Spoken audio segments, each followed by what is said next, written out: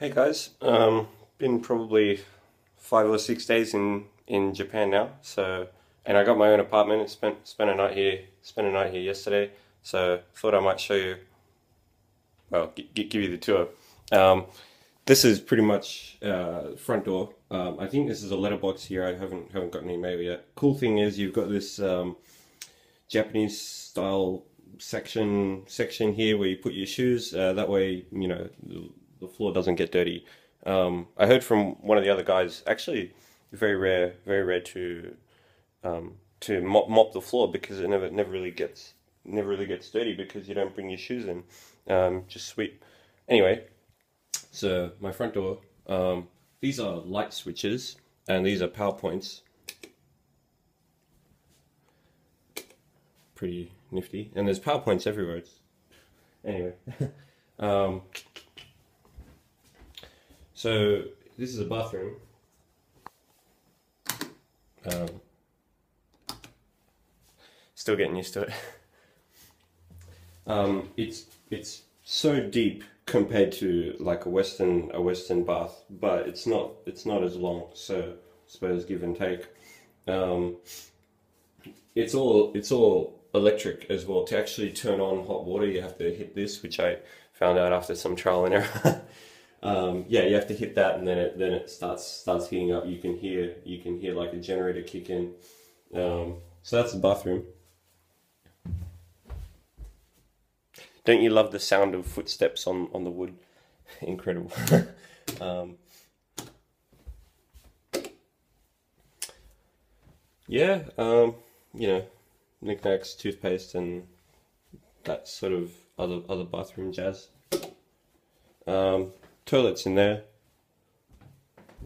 This is like the living room slash kitchen. Not really much in the fridge yet. Uh, they gave and and the cool thing is the company hooked me up with not only the apartment but pretty much everything everything you see in here. I mean, the fridge, the microwave, um, all of the cutlery and and whatnot that I have, um, plates and cups and things, the frying pans, the gas heater, all provided. Um, I've spent, I think, I mean, since I moved into the apartment, I spent maybe thirty dollars, thirty dollars on things.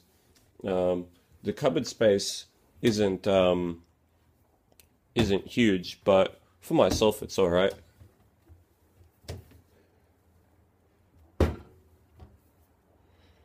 See how huge the sink is as well. I noticed that's another trend here. All the sinks are just just huge compared to compared to back home. Um, gave me a washing machine. Um, that's a, a, table. I have to put that together later. I didn't have time. Didn't have time yesterday. Um, that's actually a couch with cushions.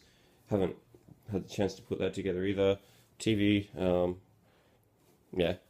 Um, one of the other teachers as well hooked me up with some a bunch of a bunch of stuff like books, um, other Australian icons. You can probably see a boomerang in there, um, and um, you know rice cookers and irons and things like that.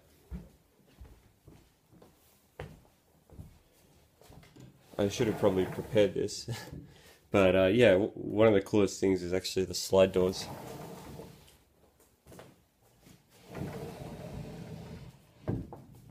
And this is the bedroom. Um, might be wondering where the bed is. Until June or so, they've hooked me up with a um, Japanese style bed, which which is just like a mattress that folds out onto the floor, uh, futon. And when you're done with it, you put it away.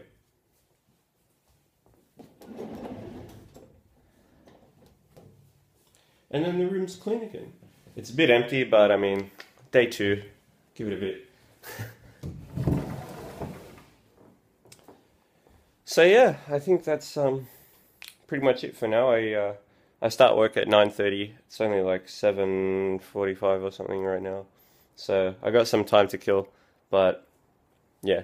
Anyway, I'll catch you later.